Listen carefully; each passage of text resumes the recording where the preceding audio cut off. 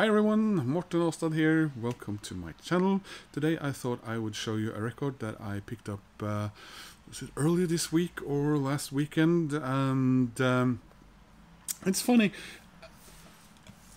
you wait for a band to record something new or re-release stuff and uh, and then they finally do and you pick up uh, this this copy of Alice in Chains Black Gives Way to Blue uh, which I picked up two weeks ago uh, it was released I think it was released three weeks ago but took a, an extra week before my my record shop got this and um, then um, just days later, uh, you read uh, somehow went. Uh, I, yeah, I may have read it earlier, uh, but um, uh, and forgotten it. But anyway, uh, that uh, you know, uh their main man, Mr. Jerry Cantrell, releases a new solo album, like the week or two after the re-release of this. Uh this on vinyl, which um, I'm I'm not unhappy about that. I just think it's it's kind of a kind of a little bit weird, maybe. And um, Jerry Cantrell, um, of course, kept uh, busy um, after the, of course, the initial uh, end of Alice in Chains. I have some of his uh, stuff on on vinyl. I have this beautiful uh, Degra Degradation Trip Volumes 1 and 2.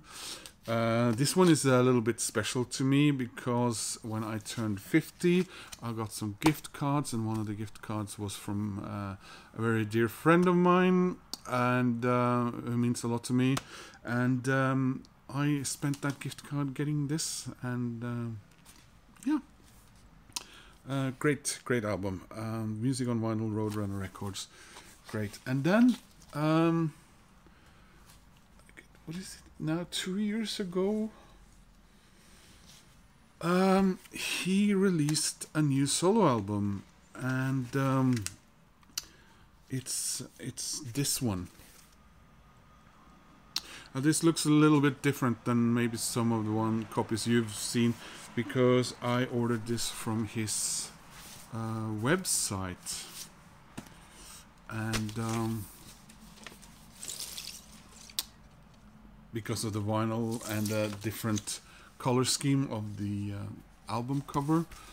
Wasn't uh, at all uh, didn't really set me back much compared to you know um, what was the name of this again? Bright Brighten. So funny um, i've actually listened to uh, the record that i'm going to show you in a second a little bit before i got it. Uh, in part because um, I thought I was going to get it and I got home empty handed. So I went on and listened to it a little bit. And I must say, it's funny how this, even for Jerry, seems more bright and positive. And I'm not sure it immediately resonated with me. Um, I do need feel I do feel I have to work a little bit more on listening to this, and um, when I when I grabbed it today, uh, it was like, man, I really need to sit down and listen to some of the stuff that I gotten over the last couple of years, especially.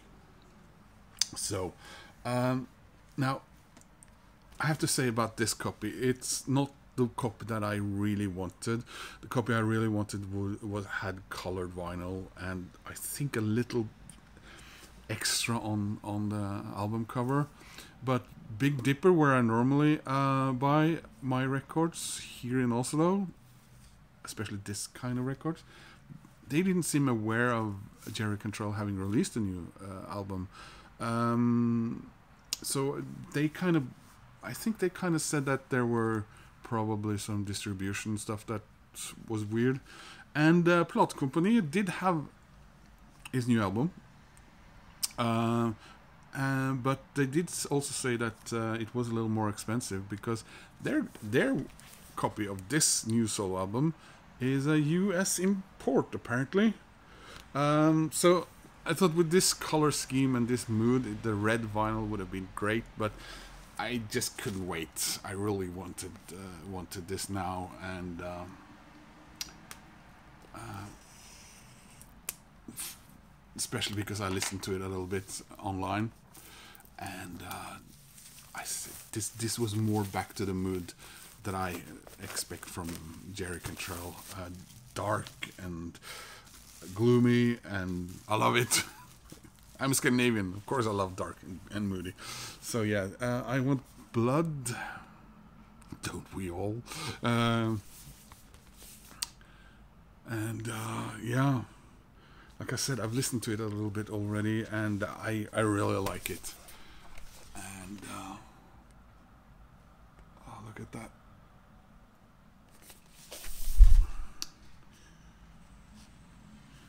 So we got Vilified, Off the Rails, Afterglow, and then we got I Want Blood, Echoes of Laughter, Throw Me a Line, uh, Let It Lie, Held, Held Your Tongue, It Comes, and uh, on side D is Spoken Word.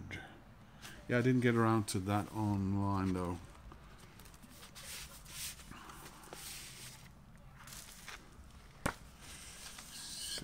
Yep, we have proper inner sleeves.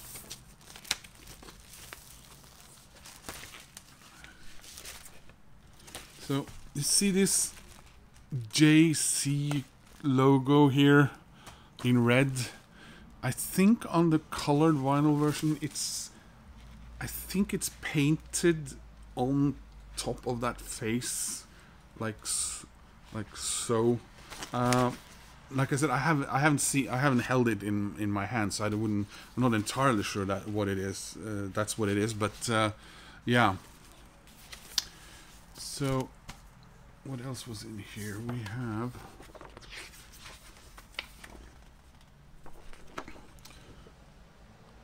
A repeat of the gatefold. And we have lyrics.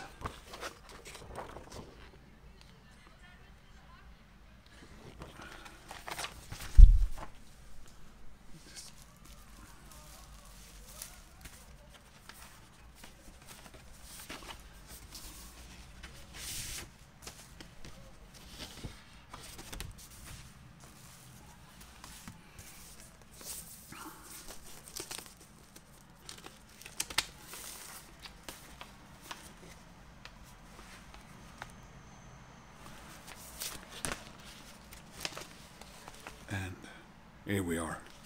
So anyway, guys, uh, oh, looking very much forward to uh, putting this on the turntable. Uh, sounds great so far from what I've heard, and uh, it'll probably be even better when I play it.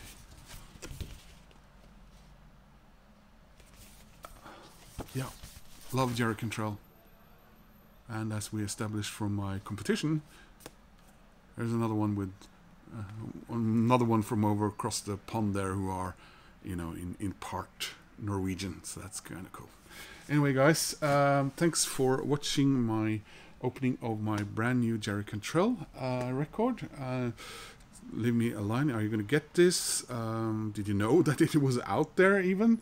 And um, are you uh, also uh, really hoping that um, couple of Alice in Chains records get re-released now, so you can maybe complete the uh, collection tripod. And uh, if you want to click like, that helps my channel. If you want to subscribe, that makes me happy. And I hope to see you soon in another video. Bye.